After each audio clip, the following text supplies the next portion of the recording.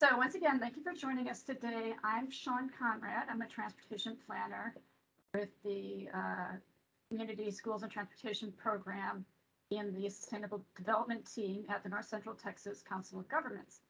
And then with me today is Erin Curry, uh, also a transportation planner in the Community Schools and Transportation Program. Um, we saw the need for this offering due to the growth and development patterns in the region um, and the need to better enable safe walking and bicycling to school for school-age children that's safe and comfortable and convenient so they have a viable option to get to school using uh, what we call active transportation. Um, we have some excellent speakers lined up and we hope you find it valuable and for some discussion. So just to give you a heads up, this is number one in the series. Uh, we've got two more webinars that we're planning for later this year. Webinar number two is planned for the summer. That will focus on fiscally sustainable development and its connection to active transportation and safe routes to school. And then our third webinar we're planning for the fall. So that will be focused on coordination among cities, ISDs, developers to plan for right size and right location of new schools uh, in the hopes that we can continue to enable safe and comfortable active transportation options for school-age children getting to school. So keep an eye out for those webinars, and we hope you'll join us. Uh, here's just an overview of today's uh, webinar. Erin and I will provide a brief, brief introduction to the webinar and the topic. Uh, so you'll hear from Erin in just a minute. Dr. Norman Garrick with the University of Connecticut will provide us with the academic research uh, perspective with this discussion of street networks and sustainable places. And then we'll have two local examples highlighting innovative street connectivity and subdivision, subdivision, subdivision design measures that have been in use in our region. So we have Mary Elliott from the city of Fort Worth and Jennifer Pruitt with the city of Waxahachie are joining us for that discussion. Um, we ask that you participate in a really brief uh, poll here to help us understand our audience. Just few questions. Um, you can use the QR code to access that poll, or you can uh, go to the website here and enter the code to access that. And we'll also put that in the chat as well so that you can access the there. So we'll give that a second. Then Erin is going to show you the results.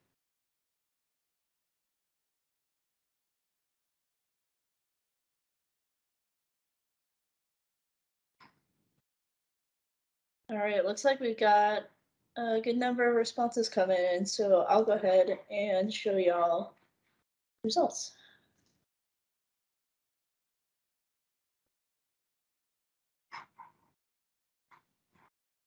So it looks like we got a lot of planners and engineers on the call, which makes a lot of sense. Um, a couple consultants, private citizen, and a few other mysterious folks. They picked the other. Uh, if you want to share um, what you would consider yourself, we'd love to hear it. Yeah, very cool. Give that another minute and then we'll go to the second question.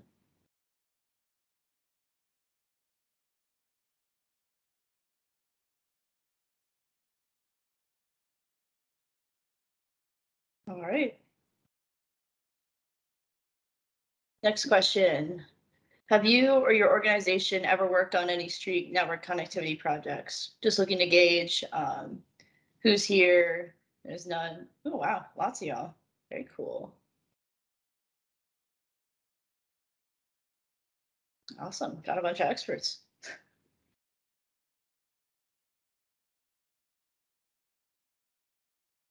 And I hope y'all that picked no learned something cool today. Great.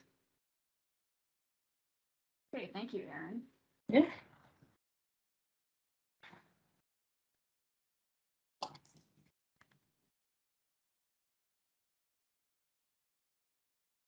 Let me get back here.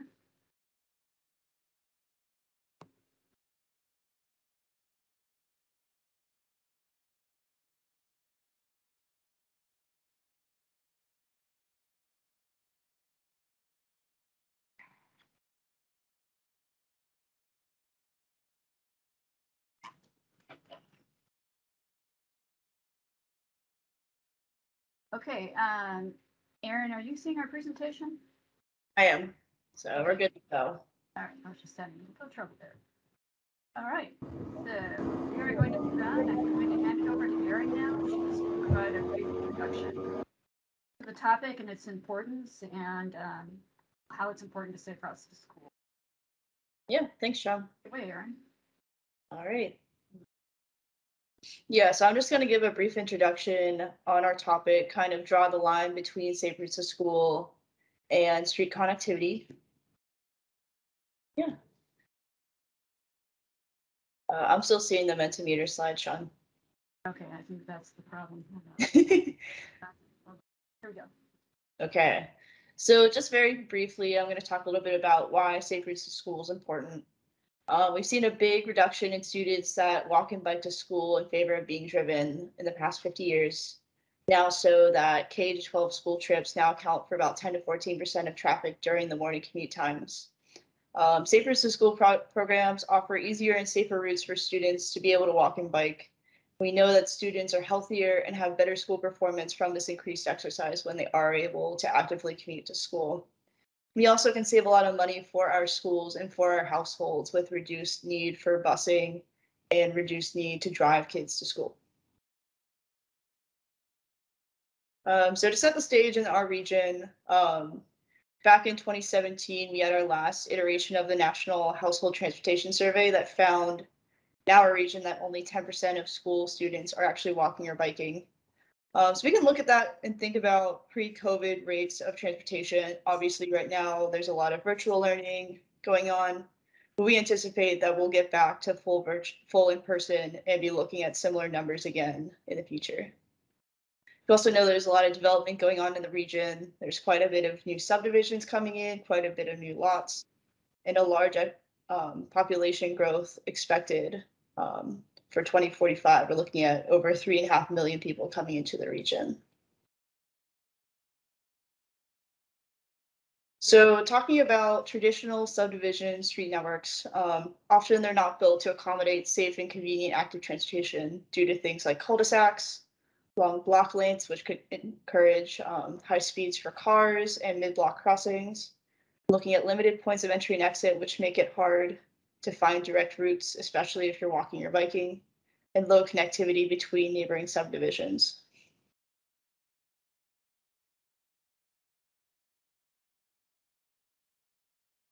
So street connectivity is important because it can promote active transportation. We have greater levels of connectivity. We're looking at improved route choices for our destinations, more direct routes, and a wider dispersal of vehicle traffic. You can see in these two images, um, the houses and the schools are a similar distance apart. Excuse me. Um, but because of the street network, um, one route to the school is a lot shorter than the other.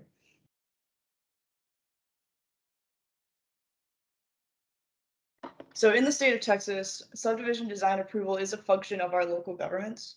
And subdivision plans must be approved if they conform to the municipality's plan for curing future streets. If a municipality would try to reject a proposal because they didn't like the design, but it checked all the boxes, they would be they could be subject to legal challenges. So the best time to ensure connectivity and promote our active transportation is before the design phase even starts. Um, we're looking at things like actually writing into our subdivision design codes, things that support active transportation and coordinating with our developers very early on in the process.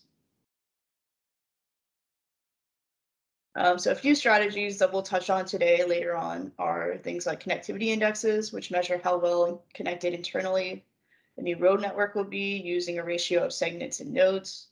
And then some other things like shorter block lengths, eliminating cul-de-sacs, and requiring connections between our subdivisions.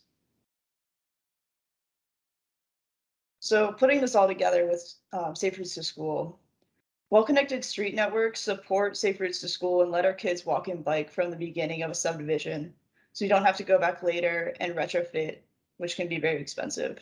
Um, walking and biking routes from subdivisions to schools aren't easy to do. They're not safe, they're not comfortable, they're not direct, they won't be used because humans expend energy to reach our destination. So we're going to look for the things that offer the path of least resistance. If it's not easy, we won't do it. So I want to talk a little bit about the importance of school and ISD coordination with our cities. Um, our cities and our ISDs make decisions that affect each other in transportation. We're looking um, to promote this because these can these this excuse me this coordination can be mutually beneficial to both groups. Often they're completing the same kinds of localized analysis on things like population growth and transportation independently of one another when they could be collaborating. So we know that funding is limited and smart land use planning can affect transportation choices. Um, so since we got y'all, I'm gonna talk a little bit about our resources that we have on our website. Uh, we reached, reached, we recently um, published our school district public transportation coordination in the Dallas Fort Worth region report. We have some Safe Routes to School resources on our website, our Lookout Texans program, which has school curriculum, school zone safety tips, and some examples of some Safe Routes to School plans we've done within our region.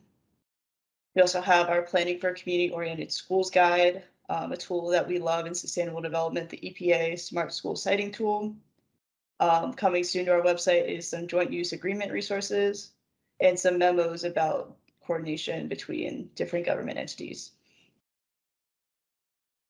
So I'll talk a little bit more about our joint use agreement. If you're not sure what those are, um, they're formal agreements usually between two separate government entities, such as a school and a city, to share public property and facilities. So coming to our website are some local examples from within our region. Um, we also are going to be sharing some joint use agreement resources from a legal nonprofit called Change Lab that we are really into. Um, we'll be also giving out some guidance on new joint use agreements. That'll be on the school siting page on our website. Um, so here is our information if you'd like any more information on the things I just presented. Uh, so that's it. Thanks, Shawn. Thank you, Erin. All right, I think we'll continue on to our first uh, presentation. Uh, guest speaker, um, that will be Dr. Norman Garrick. So Dr. Garrick is a professor emeritus in the Department of Civil Engineering and co-director of the Sustainable Cities Research Group at the University of Connecticut. In these roles, he has led research related to street networks and safety and the design and operation of streets, particularly related to bicycle and pedestrian safety. So we're really excited to have Dr. Garrick today. Dr. Garrick.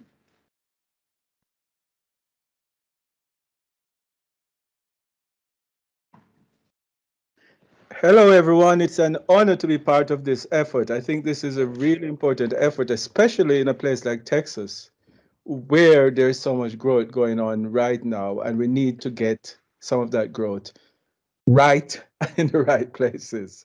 Um, I hope nobody's offended by my choice of um, a picture from Austin, but that's the urban area in the state that I knew know the best. So I thought I would use some examples from Austin to ground this presentation uh, before I get into some of the theory. So if we move on to the next slide. Okay. All right. So um, this is the uh, Austin metropolitan area. Ne uh, next few slides, please. Uh, what I want to look at. Uh, yes, thank you. And and the third one and the fourth. Yeah. So what I want to look at are four. If you could go back one. Are four different areas in the Austin metropolitan area, starting in the center and working out from there, uh, one, two, three, four, to the very edge. So what we have downtown, um, number one, next slide, please, is basically what you have in Dallas or Fort Worth, um, a very traditional American connected street system. And one of the things I want to really emphasize here is that when people talk about street con connectivity, sometimes people confuse the idea of a gridiron, like we have in a lot of American cities, to and and they conflate that idea with the idea of connectedness. being connected is not necessarily the same as, as having a gridiron system. So we're not talking about building gridirons necessarily like we have in the center of a lot of American cities that were built out by the railroads. So this is the downtown built probably somewhere in the 1800s. Um, and it's connected downtown internally. It's connected to the surrounding neighborhoods. The buildings are relate to the street. Uh, all of these things are examples of early 1900s, late 1800s American urbanism. And it worked really well for a long time. In some places, including in Texas, it has been degraded over time by street widening, by taking space for parking, etc. But the, the basic bones of the city, the, the connected streets are still there. Next slide, please. So this is another um, part of the metropolitan area. And when I was looking to for examples, this immediately caught my eye. And then I remember that this is a place I had been when it was just being built. This is Mueller, which is on the old, the grounds of the old Mueller Airport in Austin. And what it does, it emulates a lot of the features, but not all, of downtown. So we are in some ways going back to an older pattern of development um, represented by what we see here at Mueller, or, or Miller, I should say.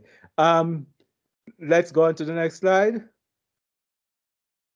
This represents more 1940s, 1950s urbanism, where we're seeing the connectivity is breaking down. So we have these pods or um, segments of development that are not connected to each other. And this is where we start to have problems with people walking or biking to get around, or even with transit properly supporting these, these places. The next slide, please.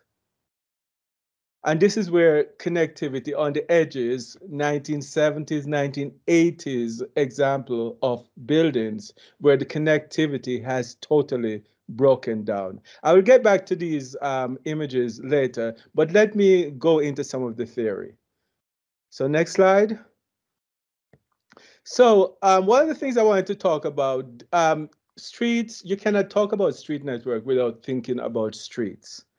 And we have come a long way over the last 20 years in terms of developing manuals that help us design streets better. One of the first ones, which I was happy to have worked on, was from 2007, the ITE CNU um, FAA sponsored, and also the Smart Growth from the EPA, the Smart Growth um, group from the EPA, all sponsored this um, document that really led to a revolution in how we, we think about streets. After that, next slide, and just keep rolling through it. Next one, next one. After that, we saw um, different cities coming up with their own manuals because there was really nothing at the, um, the national level except for the ITE document. So each of these cities had to come up with their own manual. Next slide, please. Um, but now NACTO, I think, is really set the stage and has really, really taken the ball and run with it, I would say, and have created a street design manual that anybody around the world can um, really adopt and use to address a lot of the issues that we need to address with street design. Although I should say that one thing that they have not really done, none of these manuals have done very well, is address the issue of street network connectivity in any detailed way. So some of what I'm presenting is unfortunately not in any of these manuals. So next slide. So one of the things that NACTO and these earlier manuals that I talked about have done is ask us to change how we think about streets. So in the past, and still in many places, we're thinking about streets as primarily for motor vehicles. So motor vehicles on the top, private motor vehicles, and walking, biking at the bottom. What NACTO is asking us to do, next slide please, is to reverse that um, and point out that there are numerous benefits in many ways, economic, social, environmental benefits from reversing this pyramid and putting people at the top. And this is what these guys are about. And this is what also understanding the importance of street connectivity is about. Next slide. Um, and one of the big reasons why this is so important is just due to sheer space. In, in urban areas, in suburban areas, space is at a premium. And so you don't want to devote so much space to moving people. Next slide, please. Okay. Next one. Okay, so what I've come up with, um, well, I came up with this years ago, and I think it's a really important perspective to go forward, that there are three essential elements of urban street design. The first is, please, the next slide, you need connected and complete street networks. So you don't have good suburban or urban streets if they're not connected, if they're not part of a complete network. And an important part of that issue is that you need different types of streets serving different functions. So you need busy streets, you need quieter streets, and you need streets that are more commercial and streets that are more residential what we're talking about here is building places that serve the full range of human needs, not as we have been doing in the past, creating these monoculture places. And this is also part of the story. Next slide. We also need to be concerned with the convenience and comfort of this and safety of all road users. But in this point, I would emphasize that we need to be particularly concerned about non-motorized road users because they are not shielded by metal and plastic and glass. And the third um, point is that that roads convey to us a sense of place. Is it a place that we want to be in? Is a place that we're comfortable in? And if we treat streets as places for just movement, then we end up with the type of streets that we see all over the United States. So we need to consider streets as places, not just conduits for travel. They need to set the tone for what a place feels and function. Thank you. So the next one. So um, what is interesting to me about this subject is that the United States has an exquisite um, um, a history of building connected street networks. And this goes back to the 1600s in places like Savannah, Georgia, um, Charleston, South Carolina, um, of course, Washington D.C. in the 18 in the in the 1700s, etc. Coming back to the railroad towns that were built all uh, over the South and Midwest and the West of the United States. So we know we had the knowledge of how to do this. We have lost that knowledge to some extent, and I'm glad to see it coming back. Um, with discussions like this and with the introduction, which shows some of the important elements of this. So next slide, please. Um, one of the question is, what happened to that knowledge? And there are lots of influences that led to this. One of them was, of course, Le Corbusier, um, a Swiss French architect, who decided that streets were obsolete and we needed to get rid of them. And his idea was these towers in the park, which we know in most places now are really towers in parking lots. Um, next slide.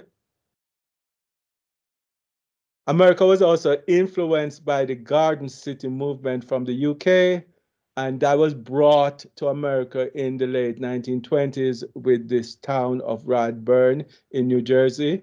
That should be New, New Jersey, not New York. Um, next slide. So this led to a radical, uh, well, an evolution really. It's, it wasn't as radical as I'm making it out. It was it was radical evolution, but it was still an evolution. And this is illustrated by this um, this figure that is I attribute to a colleague, um, Stephen Marshall from UCL in London. So you can see the red line represents around 1950s, where most places that were built before that looks like the the um, the image just to to the um, left of the red line, and most places built after that. We start to see an evolution. The 1950s till the 1970s, where things just totally broke apart. Next slide, please. So how did this occur? It didn't occur by accident. In our research, what we found was it was a federal agency that led to these changes. And weirdly, it was not an agency that was in planning or transportation, but it was a federal housing authority. Um, and it looks like now we're going to also have federal lead to change some of this coming perhaps from the DOT. Um, in the late 30s, the FHA issued pam pamphlets like this saying that certain types of patterns were bad. Next slide, next um, click. And some were good, next click. Um, and so, um, and they were able to get this changed embedded in American culture because they really controlled the, um, the purse string and they would tell people that you could not build along the lines of the old style way of building in America. So this came about in the 30s. The war happened, a lot didn't happen, a lot didn't get built. But after the war, this was ready to go. Next slide, please. So one of the things that they, one of the justifications that they gave for doing this was they said that the old style patterns were dangerous. And when we looked into the literature, we found no evidence of any work being done to compare different street patterns on the basis of safety. So eh, around nine, 2007, we decided to actually take up the challenge of the FH, the Federal Housing Authority, and actually research this question. And we did it by looking at 24 cities in California. The reason for California was that there were so many cities and such a wide range of different types of cities that it was a good test bed for our ideas. Next slide. So one of the things we find, this is very quick, um, um, quick summary, is that when you compare the patterns on the left to the patterns on the right, next slide, we found that the chance of being severely injured was 30% higher in those newer patterns. The chance of being killed was actually 50% higher in those um, newer patterns. So the idea that this was about safety just doesn't hold any water. Next slide, please. And we also found, just keep going. We also found that when you compared, um, okay, when you compared the pattern on the bottom to the pattern, pattern on the top, the rates of walking was much, much higher. The rates of biking was much higher. The rates of even taking transit was much higher. It's not surprising. I think, in fact, what is surprising is that we actually found that there were some people walking in the top pa pattern. Next slide, please. Um, at the time we did this research, we extended it to look at health um, and this is how the Washington Post re, um, reported our research. So keep going to the end. They said that in this study, we looked at 24 cities built at different times with different street patterns. We examined health data from the um, California Health Survey um, for four years. And we control for socioeconomic factors, including commuting times, the presence of fast food, and grocery and other land use. And we found that higher intersection density were significantly linked to reduced rates of obesity, diabetics, and high blood pressure and heart disease. And those are all serious problems. But of course, the press was only interested in one thing. Next slide. So if you roll through it, all they were interested in was this issue of obesity. And these were some of the headlines that I took at the time. And the last one. And the last one was actually particularly puzzling because I don't remember us addressing that issue. Living close to Walt, um, Walmart makes you fat. So these are, but this is really highlighted an important issue that how we build place is not just about how we travel, it's not just about the safety, but it's also about our health. Next slide. So I just wanted to quickly show an example of what building connected street network looks like in my former hometown of Storrs, Connecticut. This is a um, development that was built between 2005 and 2014. It's still being built out. But um, I had the good fortune to work somewhat with the developers. So let me just show what that looks like. So um, this shows the, the level of connectivity. I live just to the south, about a mile to the south. I lived just to the south of this place, and I worked just to the north of this place, so about half a mile north was my workplace, half a mile south. So I would walk through here every day and I saw the evolution. And I got to understand just how well having a connected street network works, how it changes your perspective on the place you live. Um, and next slide.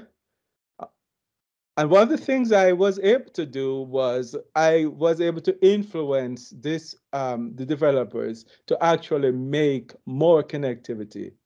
Um, when they were planning this place, they had basically one entrance into the um, development. And what their computer models showed that the intersection could not handle the projected traffic. So I was able to get them um, to roll through the slides, please. Next one. I was able to get them to actually add an additional entrance into the property to, to add more connectivity. And voila, their model showed that the backup on the main street was no longer there. So even the models, so that's the models, but in reality, it also works. And I think it really was very important that we did not end up with a three lane street um, that would have prevented good connections across from the university to this new downtown for Storrs, Connecticut. So next slide, please. So what do we look for in um, a sustainable street? So let's just roll through these. High density of intersection, high connectivity within neighborhoods, good porosity between adjacent neighborhoods. These are some of the things that was um, given in your earlier in, in the introduction. Good variety in street types. This is something that people a hundred years ago really understood that you wanted the residential streets to be quiet streets where people, kids could play in the streets. You didn't want all the streets to have the same weight. And there are different ways of doing that in a connected street network that they knew from in those days that we seem to have lost. So if you go to the best designed connected street networks from the 1880s um, uh, to the 1920s, you can see the little tricks that they use to change which streets were true streets that had lots of traffic and which streets were quieter streets. Uh, fifth point, no restrictions on the type of streets that are connected. So a big street is connected to whatever kind of liquor street there are All streets should be walkable, crossable, and multi-purpose, and all streets should have building frontage.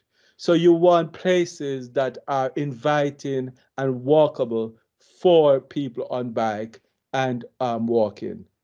Um, so the next slide, please. So if we keep that in mind, let's look at these um, three, four areas that we looked at previously. So go to the next slide. We see in downtown Dallas, we have the, the high, I'm sorry, downtown Austin, high um, density of intersections and keep rolling through them.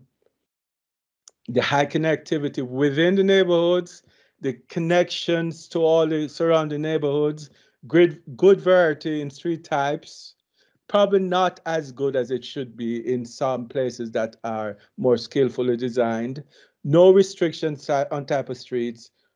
All streets are walkable, almost all streets are walkable, crossable, and all streets have building frontage. That was how it was. You see some degradation in this pattern with the freeways coming in, with the bigger roads coming in. But that's how it was designed um, initially. Next um, slide. Um, and go to the next one and just roll through these points. You see, this is what they're trying to do in Mueller, um, in um, the Mueller Airport site, some of the same issues um, that they're trying to address.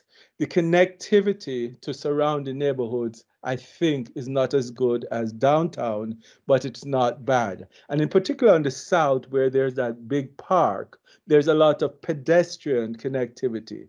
So not all connectivity does not need to be for motor vehicles. And this is what you see here. Um, next slide, please.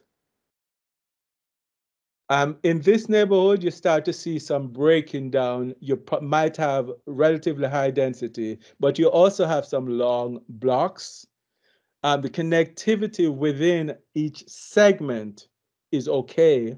But as you get out of each pod, you see that one pod is not very well connected to the other pods. So you're basically forcing all the traffic onto one streets and you're asking people that are walking to take circuitous routes. Um, and the other thing about this is that it's not a um, very mixed use place. And then lastly, the, the last place that we can look at. Yes, and this, almost all the rules are thrown away. So it's just each little pod is, is designed separately. So let's go to the last slide. So, um, and I think I'm going to skip this because I think I'm running a little bit long. So let's um, um, go over the, go beyond this. And I just want to say that what we are trying to do with bringing back street network patterns is that we're trying to build more livable places, more lovable places, but also places that are more resilient, that are going to be able to um, last for a long time, to transition from one function to the other, and places that are more sustainable if we are able to walk, bike, use transit, etc. So that's what I have. Thank you very much. Let's go to the last slide, please. And this is just my um, um, my con uh, contact slide. So thank you for your attention. And if I, you have any questions, if there is time, I'll be glad to address them. Thank you, Dr. Garrick. That was really interesting to hear about your research and the historical perspectives. I really appreciate that. Um, we are going to move on, so please, if you have questions, please hold them to the end, and we'll have uh, time for a panel discussion. Um, so our next speaker is Mary Elliott. Uh, she is planning manager for the planning and, and, annexation section of the Development Services Department at the City of Fort, Fort Worth. Um, that department coordinates the Development Review Committee, so she's got her hands in that pot. Mary has worked with neighborhood groups, elected officials, and the development community to implement subdivision ordinance amendments, including connectivity, access management, collector network planning, multifamily block face standards, and pedestrian connectivity. So Mary is here to share her experience. Mary?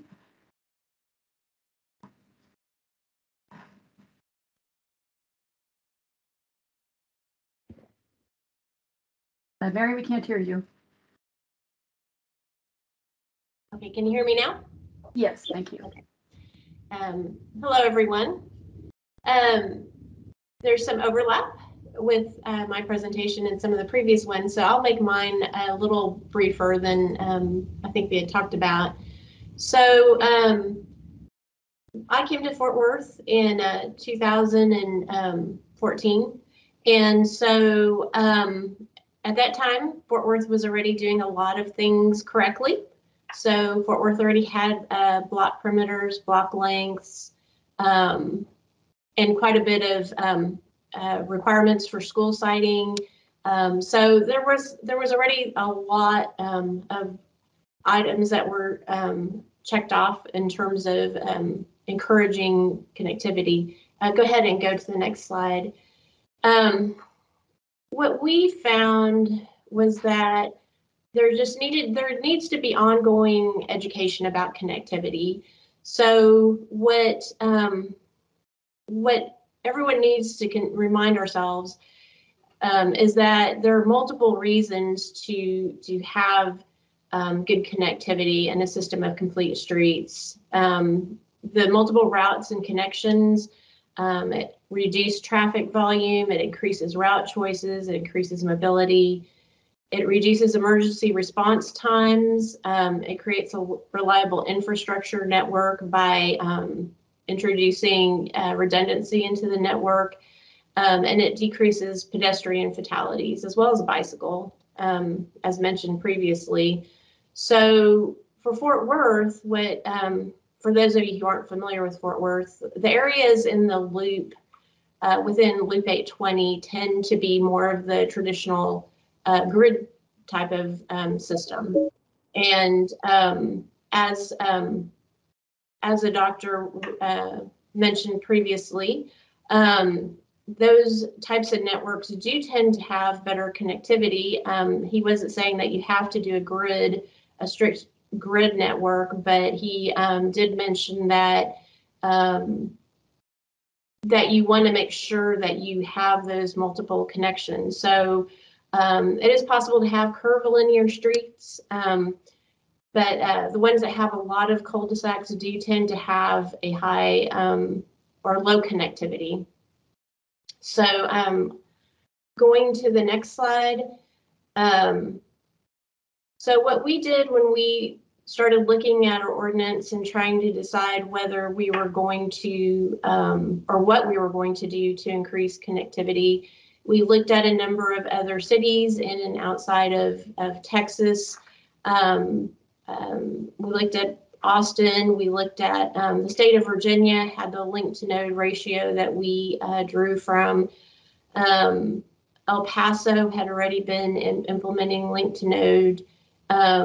And we looked at, you know, we also looked at zoning ordinances, form-based codes, and although those are different tools, um, you know, we found they were helpful in um, enforcing the proposals that we were making to neighborhood groups and um, commissions and, and council.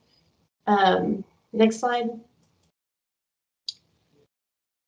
So for those of you who aren't familiar with the link to node ratio, it is um, you know an industry standard for measuring connectivity. So um, the links are the the streets um, and roadways. They can also be alleys and pedestrian ways. For Fort Worth, we decided to go uh, with the streets for now.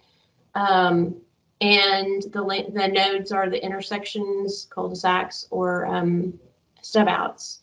So for a non-grid street network, um, one 1.4 is a very um, that that's our minimum requirement. So if you're looking at Brooklyn, the borough of Brooklyn in New York, um, the link to node ratio would be um, in the 2.3 to 2.5 range. So for the grid type networks, you are going to have um, the higher link to node ratio.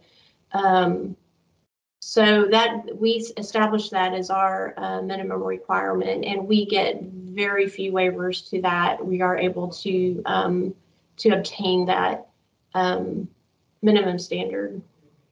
Uh, go ahead and go to the next slide.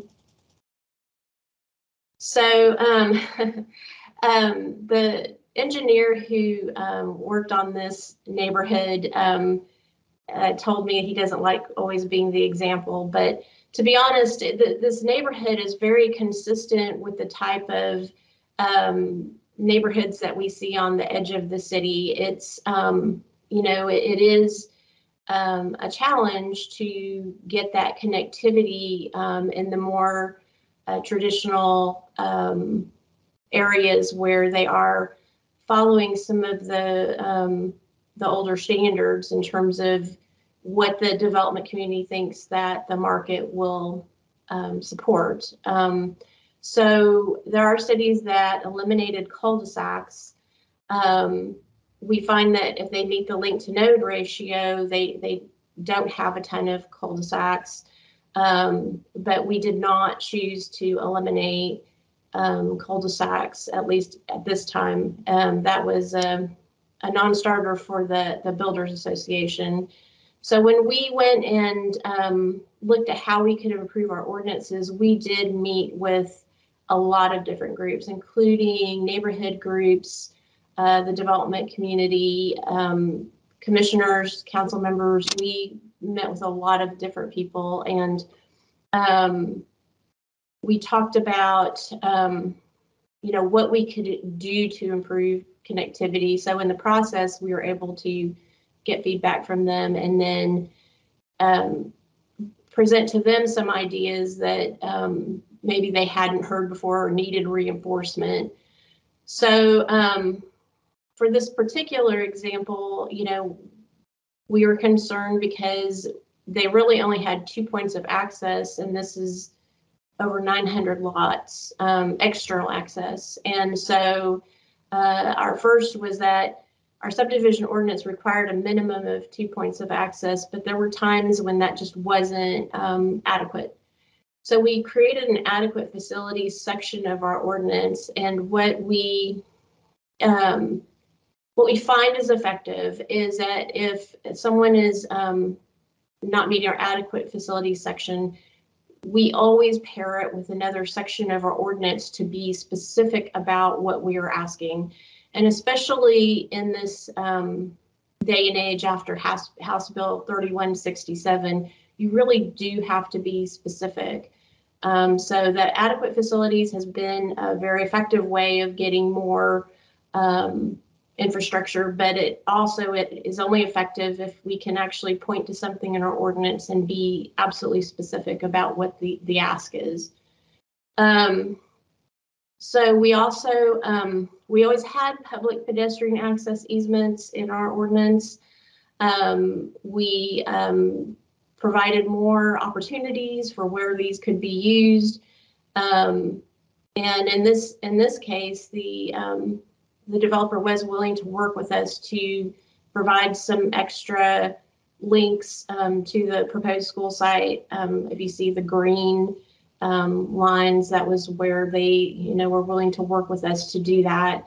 Um, and then when we looked at those external connections, um, we, when I say differentiation among the different street types, what I mean is that um, in terms of moving traffic in and out of the neighborhood, and our arterial is going to be able to carry more people um, than a than a local street. So uh, when we were looking at adequate facilities, we we wanted to say it's not really just two points of access. We want to make sure that um, you know that we're able to move in and out of the neighborhood and into adjacent neighborhoods easily.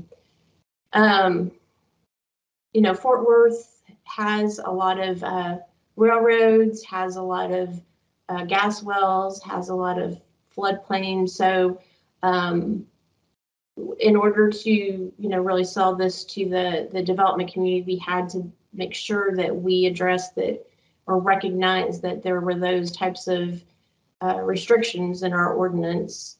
Um, So go ahead and um, go to the next slide. So with our block length requirements, um, we had added a new uh, zoning category called UR Urban Residential. And it's primarily found in our urban villages and growth centers. So um, for those of you not familiar with Fort Worth, um, urban villages and growth centers are areas that are encouraged for more density, um, encouraged to have, um, you know, more walkability, more biking, more um, uh, closer proximity to different types of land uses. So um, when we reviewed this, we added UR into the mix.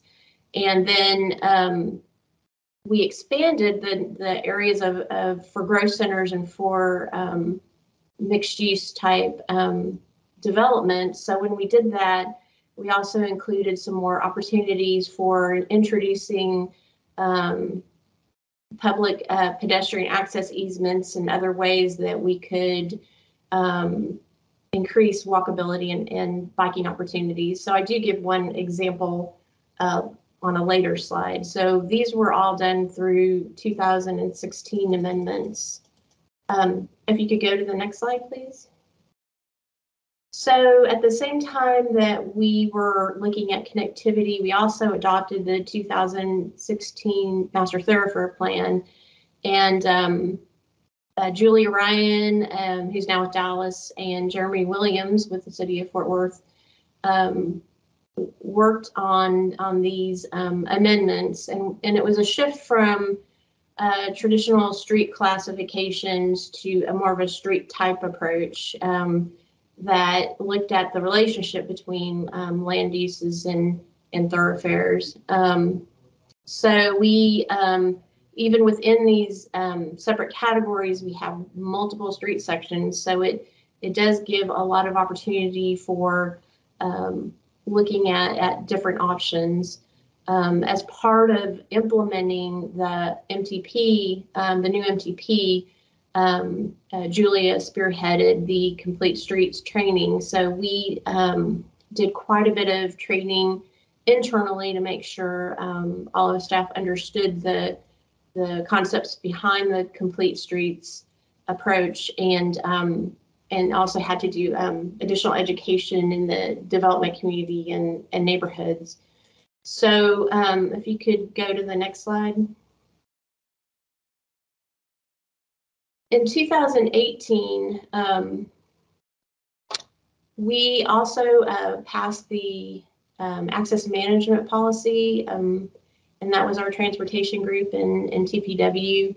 Um, and as part of that, we looked at collector network planning and and, doc, and our good Dr. Garrick had said that, you know, we don't want to look at streets individually, but the collector network planning, what, what we were finding is that um, uh, the, the streets that are a little wider that kind of carry the, the traffic out of the neighborhood um, were just not being constructed. And so these are the streets where we spearhead or we we identify those as um, you know for for additional uh, bike lanes, additional um, on-street parking, additional.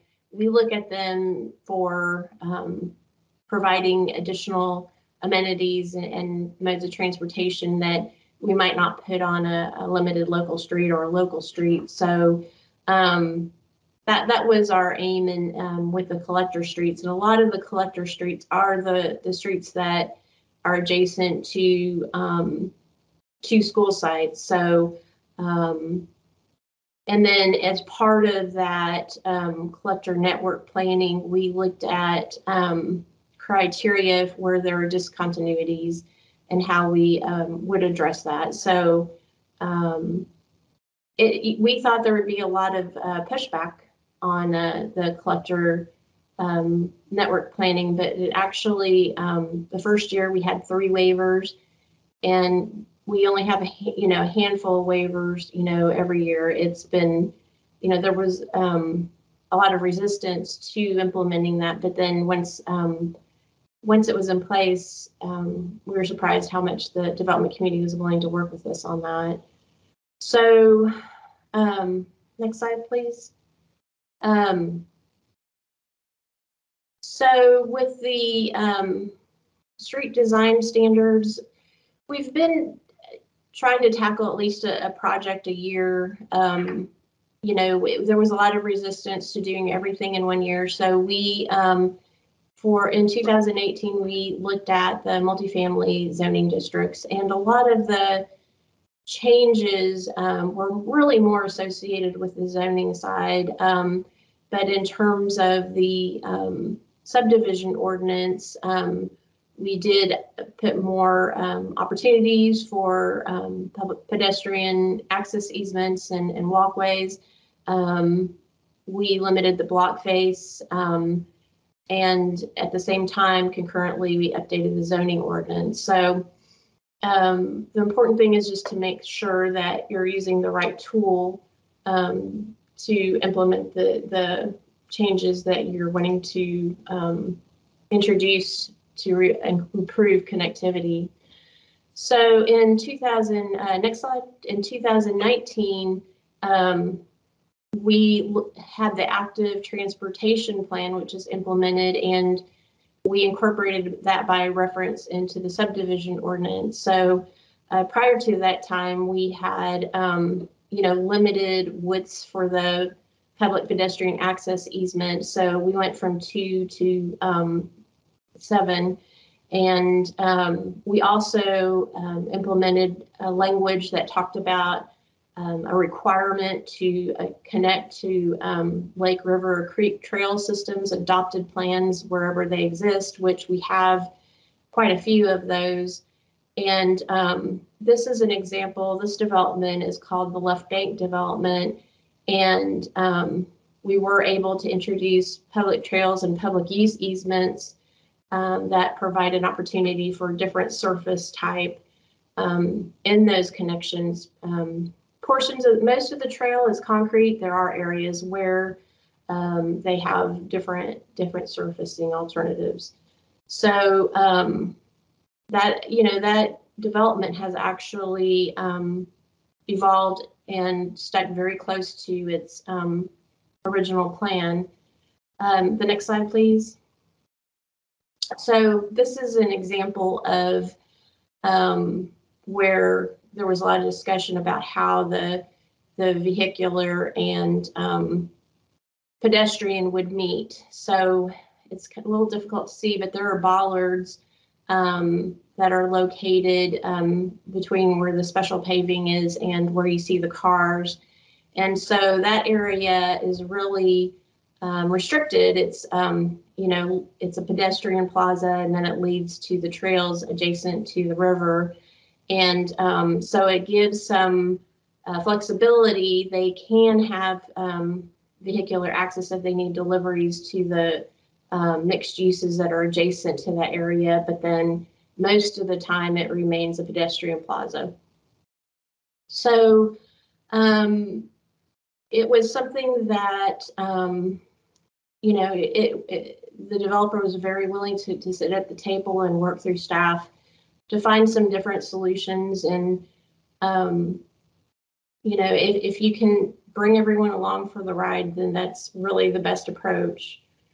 Um, so just in conclusion, it's a matter of finding the, the right planning tool um, for the, the areas, um, context and scale. Um, I think building consensus is really key. If you implement something and you're not able to get everyone to the table, then, you know, it just makes it very difficult to enforce. You're, you're not going to get 100% consensus, but if you can at least um, get everyone to, to join in the discussion, then that's um, extremely valuable. And, and we've had to take things in, in pieces and kind of, um, you know, focus on different um, aspects as we have implemented more, more tools. So uh, that's really uh, all that I have. You want to go ahead and put it on the last slide. And this is my contact information, and um, I'm happy to um, answer any questions at the end of the presentation. Thank you, Mary. Really great work at the City of Fort Worth. We appreciate you sharing that. Um, I'm going to go on to our final speaker, and then again, we'll have uh, time at the end for questions and a discussion. Um, the, our final speaker is Jennifer Pruitt. uh, AICP, LEED AP, CNUA with the city of Waxahachie. Uh, she's the senior planning director. She is known for her large project management work on the Viridian Master Plan Development Community in Arlington. And she was also the primary planner on the Chisholm Summit Master Plan Development Community in Burleson. Um, so thank you for joining us, Jennifer. She's going to talk about their experience in the city of Waxahachie. So good morning, and first things first, just want to thank you for having me uh, today to pass on some tools in which we are using in Waxahachie um, regarding our safe routes to school. So thank you for having me. Um, Next slide, please. Next slide, please. Um, we have quite a few tools that we use um, quite often here, and I will run through those um, specifically. But the one thing that I wanted to touch on between, you know, our planning department as well as our public works department, I mean, we work closely together. And I have to uh, send a shout out to our public works. Um, they do some heavy lifting. And so I'll talk about that in our in our um, sidewalk uh, program. Um, so we have one sidewalk program and it's all about connecting the dots and I'll touch on that.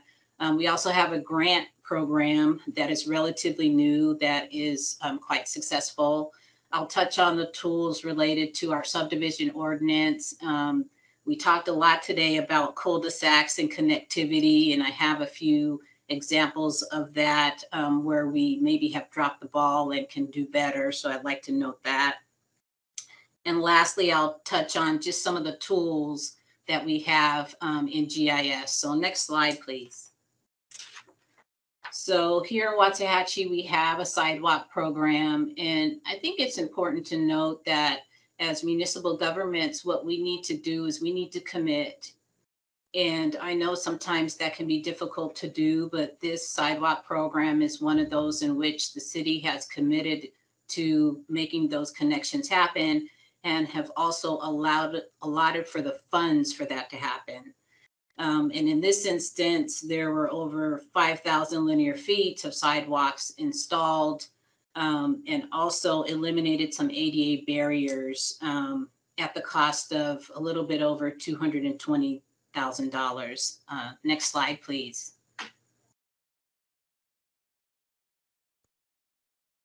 And we have um, the program in place in which we document before and after.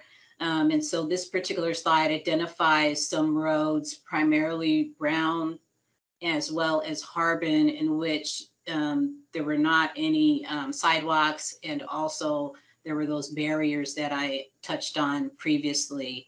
Uh, next slide, please.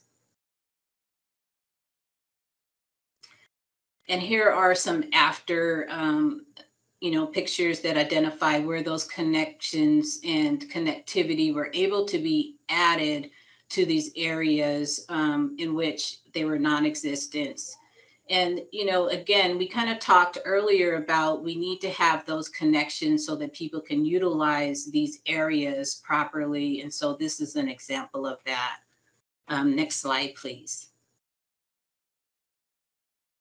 The other aspect I wanted to touch on as well is um, three projects uh, over the last um, recent years that had some connectivity um, that was lacking in sidewalks, and they're all associated with schools. So the first one is Wilemon Academy, and the area um, in which the um, red sidewalks is identified, those are areas where the sidewalks were not in place. And so in 2021, um, this is one of the projects in which the sidewalks were extended um, so that, you know, the residents and the um, students could be able to utilize those areas more properly. But, you know, again, an example recently of the sidewalk program um, where the dots needed to be connected and it was um, installed and completed in 2021. Next slide, please. This particular project um, was completed in 2019. Again, another example here in Waxahachie where Northside Elementary um, has some areas in its close proximity in which the sidewalk was um, non-existent or in poor condition. So in 2019, this is an example in which um, the city um, installed sidewalks um, to connect the dots and make the routes more safer for our students. Next slide, please. And the last example that I have um, related to um, some recent um, sidewalk programs um, was in, in 2020. Again, this is Finley Junior High School in which there, you know, was missing sidewalks for connectivity. And it um, was completed in 2020. Again, you know, shout out to our public works folks for identifying the need for um, this particular um, area to um, have the sidewalks and be connected. Next slide, please. So I want to touch on GIS a little bit because we're very fortunate um, here in Waxahachie that um, we have our GIS um, division is incorporated into our planning team which is great. And so we're able um, to have these tools at our fingertips that identify where these sidewalks are located in our city and also um, where the schools are located and what those um, walking distance and times are. Um, the three schools that I touched on, Wilemon, Northside, and Finley, are identified on, on this particular slide, but it also goes into the detail of showing these sidewalks, also those walking distances, so that we can, um, you know, make those gaps, close those gaps that we need to. So again, our GIS folks do a great job providing that information for us. Next slide, please. And when I touch on GIS a little bit, um, with the sidewalk programs that um, Waxahachie has in place, there's also a component that is available online to the residents and the users of these sidewalks to provide immediate feedback, which I think is very helpful. It allows us to, to um, collect the data um, needed and the feedback um, immediately regarding those areas. And that is also was folded into the programs is to make sure that we can get feedback immediately regarding the projects that we have chosen to select. Next slide, please. Um, the second tool that I want to touch on briefly is relatively a new a new um, tool that we use, a new program here in Waxahachie, and it is a sidewalk grant program. And basically, it's a 50-50 program, um, and it's available to um, our uh, property owners. Um, they'll provide a application to us online and it's a public-private partnership. And what I mean by that is the city has allocated funds on an annual basis that allows for these property owners to submit an application. The city will inspect the property. The city will also document the project um, before and after. Um, we'll also calculate the cost associated with the project. And what I think is is another benefit to this particular project is that um, you know it with this particular project what i think is you know one of the benefits to the project it is it allows us to clearly see the um, improvements. They're all taken care of at one time through one vetted contractor so there's no delay in these projects being completed. Next slide please and so I have a few before and after. I, I don't think there's probably much to say regarding the before. Um, these are the conditions that the the um, projects were. Um, and as you can see, after um, installed at the same time by the same contractor and no delay. Um, and the residents were able to reap the benefits immediately. Next slide, please. So I think what's important to note that is a lot of cities are probably struggling with this with the same aspects regarding growth. And so it's important to note here in Waxahachie, we're probably around 43,000 in population, but we are scheduled to continue to grow. Um, next slide, please. And with our continuation to grow, um, as we, we continue, next slide, it's important to kind of look at the big picture. Um, we are seeing um, requests at um, great speed um, here in Waxahachie regarding projects. This is probably, I don't know, 34 projects that have been approved. They're in subdivision phase right now. Um, next slide, please. But I think what's also important to note is there's always those other projects that um, are maybe not under construction at this moment. And those include thousands upon thousands of lots. And how do we address that? This particular slide identifies the schools that are located in Waxahachie. Thus, then it becomes very important for us as professionals to clearly plan out with those larger developments where those school sites will be and also address, you know, how the connectivity is is going to um, be accomplished. So I, I felt the need to say that just because in many instances, what you see on the ground is not what is coming in the future regarding projects. Next slide, please. So one of the items I wanted to touch on, or I've been asked to touch on, is the, you know, some of the tools that we have in our subdivision ordinance. And I think we've touched on them a little bit already today regarding reducing the block length and also, uh, you know, as far as cul-de-sacs and um, making sure that we have the proper sidewalks that we need in place. And so I have a few examples. They're most recent examples um, that um, in some instances we can do better, and in some instances I think they were successes. So next slide, please.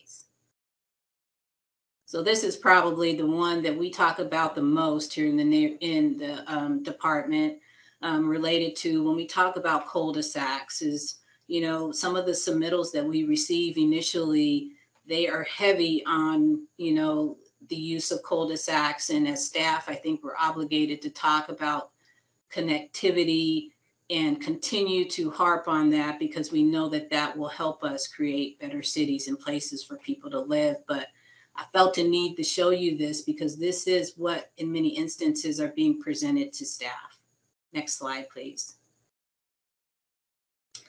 This particular uh, example is a, a project that we're, we're working through, but I, the reason I wanted to touch on it today is because we had a lot of conversation with this particular project to make sure that we um, have streets that are stubbed out for future extension um, for a development. And also, I think earlier in this presentation, you know, I've heard about education and, you know, we all learn from each other, but also we have a responsibility to educate others regarding these areas in which we get pushback from developers to make sure that these streets are stubbed out. Next slide, please. And this is the reason why that pre previous slide becomes so important because the reality of it is that particular development is being processed concurrently with a development that is, you know, directly adjacent. So how do we make sure that when we take a look at these particular developments, that we we allow for the connectivity and the coordination to take place. So this particular example, you have approximately a thousand residential lots proposed in two developments. And we were very vocal to require that the developers coordinate so that we can have the connectivity that is needed. Um, the area that I circled in purple, I think we kind of missed the boat a little bit there. We could have asked for a little more connectivity. And another aspect that I just have to point out is um, I also identified some areas on this particular slide that um, TxDOT plays a role in um, this particular project, in these projects. So you know, once you take into account multiple developers, city agencies, sometimes county agencies, as well as TxDOT, things can get a little complicated. But I think we're obligated to make sure that we um, have those tough conversations regarding the coordination. Next slide, please. And this particular slide, you know, again, it's also a recent project we're working through, but, you know, talking about those connectivities early on when the specifics of the development are not quite there. However, we know that we want to have those sidewalks of eight feet or wider on some perimeters. And this is an example of one where they're not quite there with how they're going to develop the project, but one of the items that's been, you know, at the forefront is to make sure that that eight foot wide um, perimeter connectivity to some other trails and um, modes that can be utilized for the residents is acknowledged. So I think this at least is one of those aspects of that. And uh, one more item that I just wanted to kind of touch on for you is you know, development definitely is much different than it was um, in the early 90s when I when I started in planning.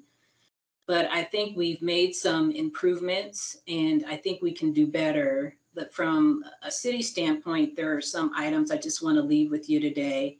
Um, one of which I think that can help us all in what we do on a daily basis, in which we're so passionate about, is to be patient. Um, we, we, we talked earlier about um, there are tools out there that have been used for decades upon decades that work. Um, I think education is key. We need to learn from each other. There are cities and processes out there that have been successful, and we can learn from those. And I also think from a city, we need to be consistent and committed um, to the processes that we have in place. Here in Waxahachie, we're like everyone else. Um, we're in the process of updating our comp plan, updating our thoroughfare plan.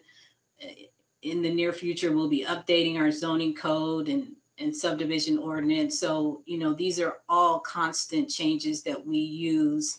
Um, but we're um, just like other cities in that aspect. And I think lastly, what becomes important for us is in many instances, there's a creative solution out there. Um, and, you know, for us to be open minded to that feedback from the users and hopefully um, utilize some of those creative solutions. Next slide, please. And that concludes my presentation. If you have any questions, I'm available. Thank you. Thank you, Jennifer. That was great. Um, really appreciate your work in Safe Routes to School and connectivity in Waxahachie. Um, so thank you very much for sharing your tools and experiences. Um, we have a few minutes remaining for panel discussion. We are going to move on to that segment. Um, uh, I want to start this out by asking Erin uh, if we have anything in the chat, any questions that we need to address or any hands raised currently that we need to call on. So we have a couple of questions. Um, the first one came after Norman's presentation, which was how can we retrofit existing suburban roadways to support these principles? Which I think um, any of our three presenters could speak to if they were feeling up to it.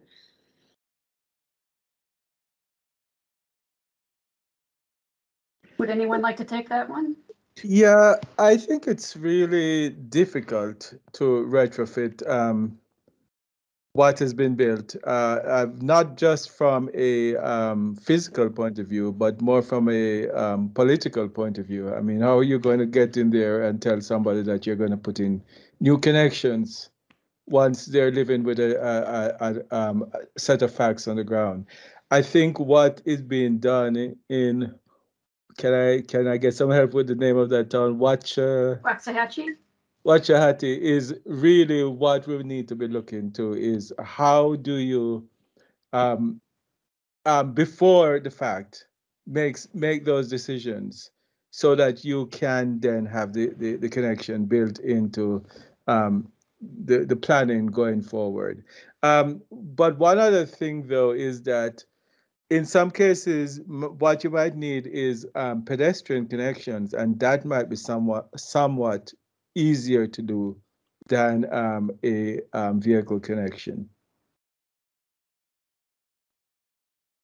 I, I agree with that. Um, it is always a challenge when you have um, an existing subdivision. What we find is that we'll, um, and we, we do require stub outs as well. If there's unplatted property adjacent to a proposal, then they are required to provide a stub out.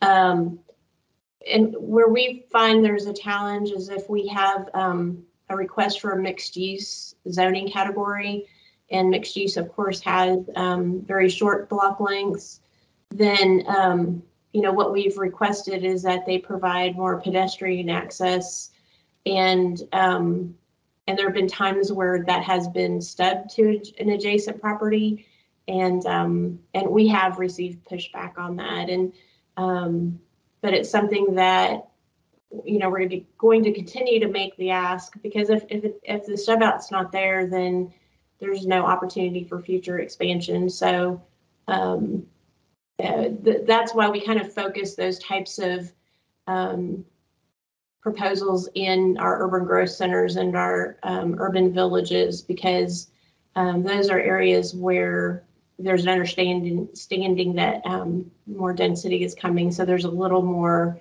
buy-in into um, you know looking at adding streets or you know, um, extending pedestrian access easements.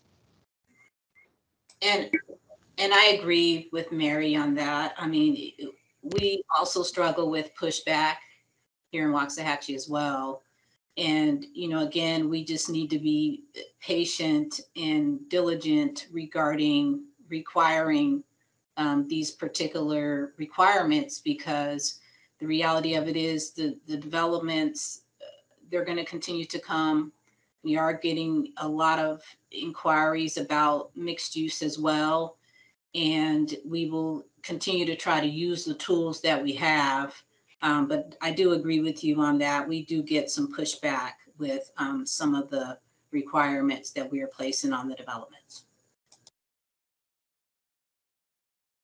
Great. Um, so we had another question, and this came during Jennifer's presentation. Um, what is your utilization of the sidewalks that you're putting in after implementation?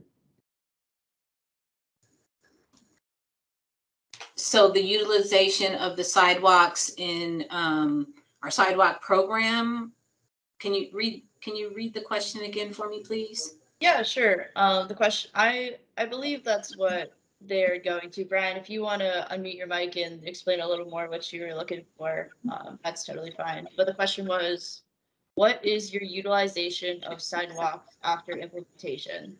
Oh, okay. So part of the issue for us is, you know, we talked about it a little bit during the presentation today is, you know, we want to encourage those routes to be used. But the feedback that we get from um, residents in some instances is there is um, gaps in the route. And when there are gaps in the route where there's no sidewalk, um, that has a negative, you know, um, a, a negative uh, attitude to use the route. So what our hope is, is to fill in those gaps. Um, and we are seeing um, a lot of positive feedback once those areas are, the sidewalks are installed. Um, the students are using the sidewalks, the residents are utilizing those areas. So it is working, but we're encouraging the use of the connectivity.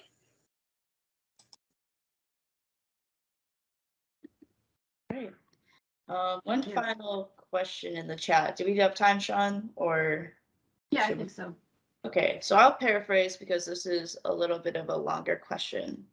Um, have we considered other options beside concrete for our public walkways? Because concrete is a little bit harder on our bodies and we should be looking to use things that um, don't inflict pain and injuries.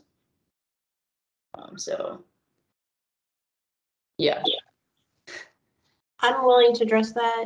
Um, uh, so we uh, do have alternative services. However, um, the reason that there's a preference for concrete is that, um, it, of course, is maintenance, um, maintenance over time. So, um, if you're a resident of Austin, you know that there's a lot of caliche, um, that's all around, um, Town Lake.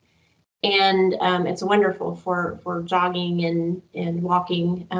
It's, you know, less intense on the joints, but it does, if you, if you are familiar with that area, it is extremely maintenance intensive. So, um, so it is a trade-off and, um, you know, we also notice that where we do have the concrete sidewalks, that there um, are usually paths on either side. So we'll make sure that there are um, clear areas on either side so that if uh, the runners want to create um, demand paths, then they can, they can do that. Um, and, um, and that, that helps with the, um, those who are frequent runners that have a lot of, um, impact on their joints. Thank you, Mary, for addressing that. Um, I think we need to wrap up now, so I'm glad we, we, we were able to get to the questions. Um, just really quick here, just a couple things for after today's webinar. Um, we're dropping a post-event survey into the chat. And I really encourage you to take that. We'd really appreciate it if you could do that so we can get your feedback. Um, if you joined today and with the intention of getting AICP CM credits, uh, be sure to log those uh, so that you can get those credits. And then we'll also be accessing or, or posting the meeting recording and slides on our website that you see here. Um, and that is all we have today. Thank you, everyone, for joining us.